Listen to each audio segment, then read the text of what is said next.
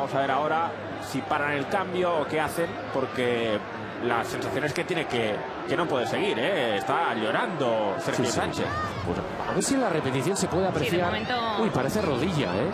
De momento han entrado, de momento han entrado Ah, no. las asistencias del Málaga rápidamente. Es verdad que Horta sigue, sigue ahí esperando para ver si se produce su cambio, pero el gesto de Sergio Sánchez desde el suelo era bastante dramático. ¿eh?